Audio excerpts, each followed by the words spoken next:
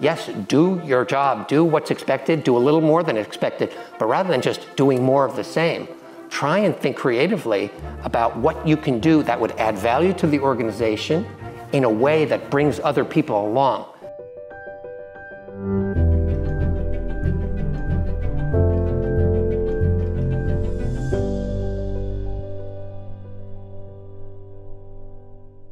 Hi, everyone. Welcome to Talks at GS. I'm excited to be joined today by my good friend Jim Citrin, um, who leads the North American CEO practice at Spencer Stuart, a leading global executive search leadership consulting firm. Jim joined Spencer Stuart back in 1994. He has worked at McKinsey, he's worked at Reader's Digest, you've worked at Morgan Stanley, and you've worked at Goldman Sachs.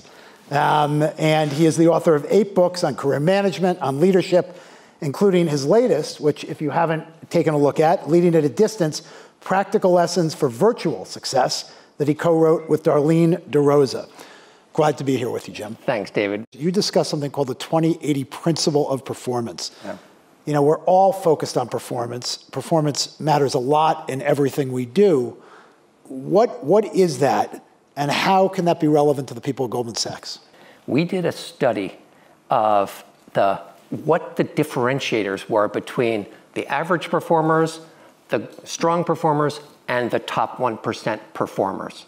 And we did a huge amount of survey research, we did a lot of interviews, and we were looking for the differentiators. And probably the most surprising differentiator was what we call the 20-80 rule, obviously a flip on the popular 80-20 Pareto uh, rule. But what we found is that most average performers are described by their bosses or their peers as they achieve their objectives. Most people in the world define their success or their jobs as you have objectives and your job is to meet your objectives. That's what creates average performance. Very strong performance are those who exceed their objectives. On average, across those cohorts, the strong performers, this is like the top 20%, on average, achieve their objectives by 20%, whether it's a revenue generation, cost reduction, cost of borrowing, whatever it was across. But the top 1%, they actually redefine their job. They don't just do more of the same.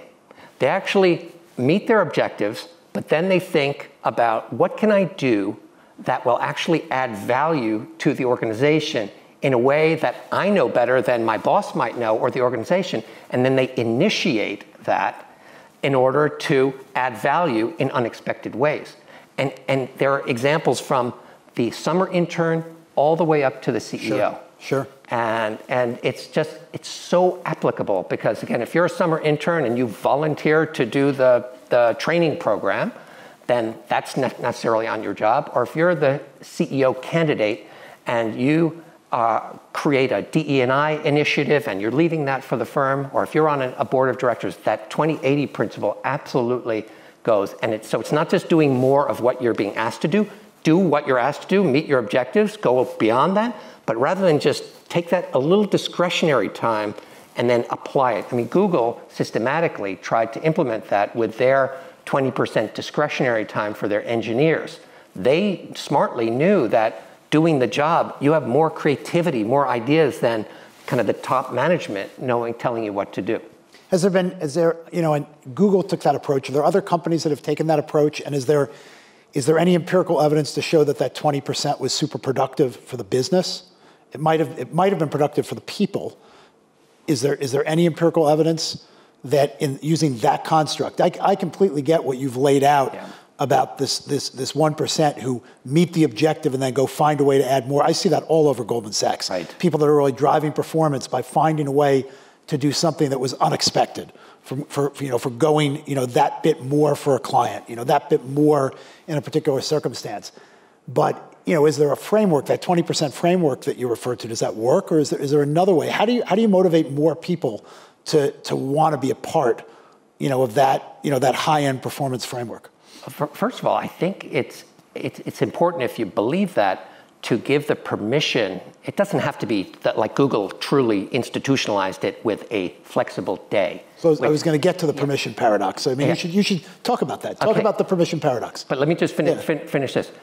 I, I can't say that there's empirical evidence having studied it at the company level, but anecdotally, anecdotally, there are some, if you think about innovations and where innovations come from, I can think of our friend John Donahoe at Nike has talked about where some of their surprising innovations come from. Their sub two hour ma- marathon in their, in their innovation lab, that came from a concept of someone who wasn't asked to do that. Mm. Or 3M, you know, for again before uh, before post-its were mm. were invented. You know, that was the guy who created post-its. That was out of a mistake and him thinking like, hmm, what can we do differently out of this adhesive that actually didn't do the job of being strong enough, but it was permanent, and then how he marketed that. So I think we could probably do a study to, to find that.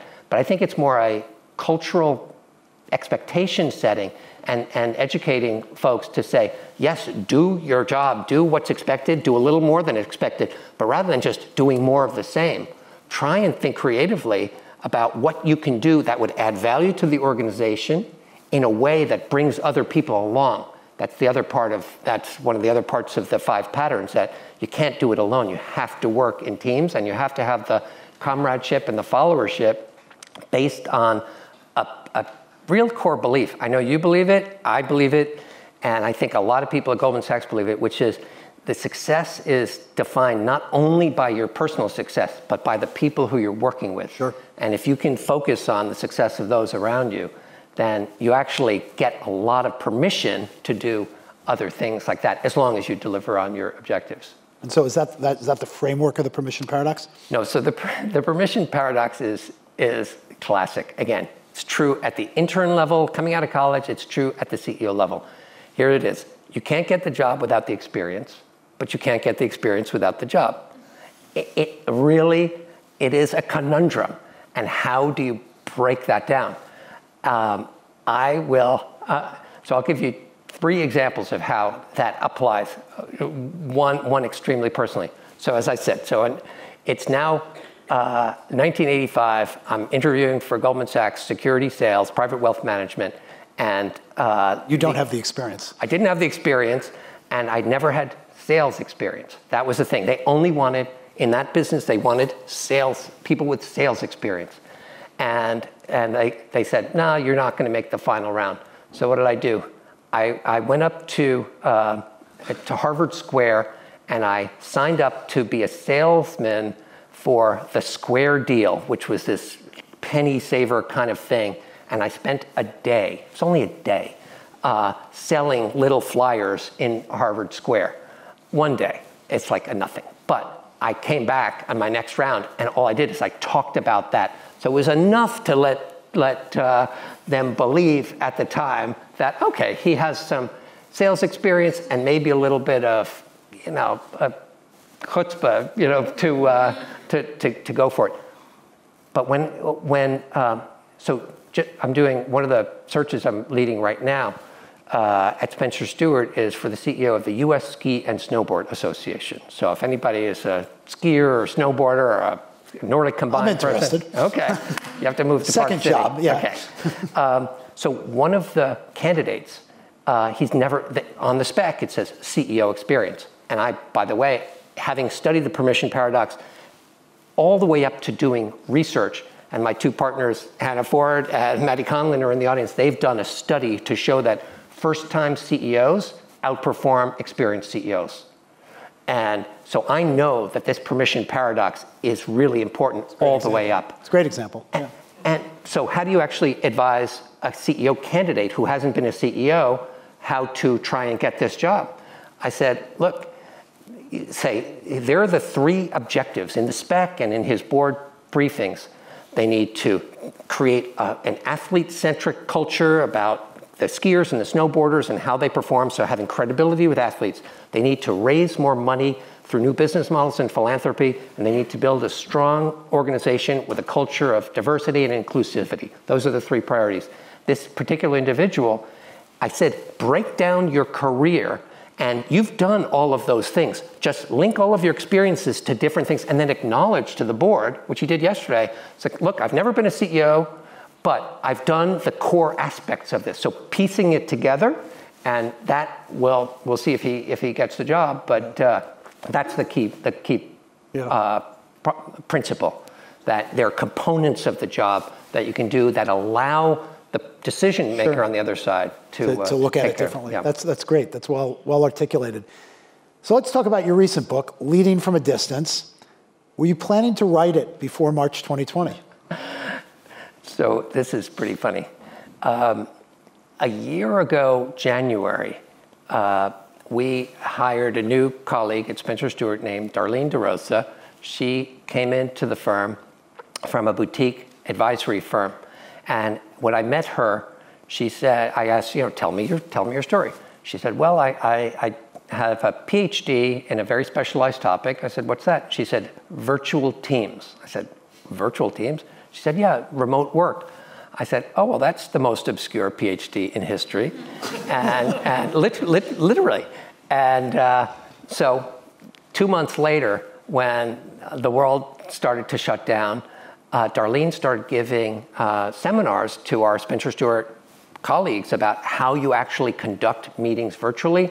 Can a board still operate virtually? Can a recruitment process happen virtually? Everybody knows now how that works, but a year and a half ago, pe- people didn't know if it would work.